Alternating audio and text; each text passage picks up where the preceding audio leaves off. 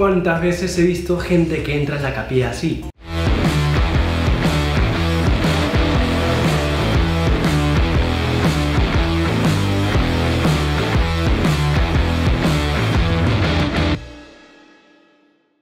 ¿Qué tal? ¿Cómo están? Hoy vamos a hablar del segundo mandamiento, que es algo así como el cruce peatonal. Existe, pero nadie lo conoce. Cuando nos dirigimos hacia cosas sagradas, como saludar al Señor cuando entramos a la capilla, tenemos que tener una actitud de reverencia.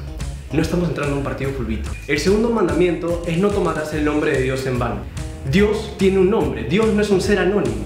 Por eso Dios confió su nombre a quienes creen en Él. En sacramentos como en la misa, vemos que el sacerdote usa el nombre de Dios luego de cada oración. Por ejemplo, por nuestro Señor Jesucristo y sigue. Pero al decir el nombre de Dios, estamos invocando la presencia de Dios.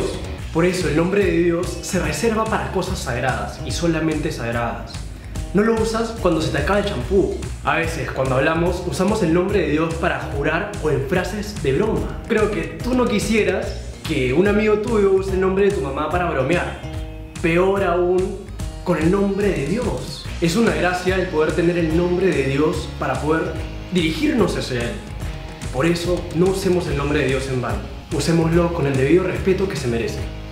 Bueno, muchas gracias, eso es todo por hoy. Espero que les haya gustado el video. Dale like, compártelo, síguenos y especialmente compártelo con esa persona que tú sabes que de hecho no sabe nada del segundo mandamiento. Nos vemos en el próximo video. Cuídate.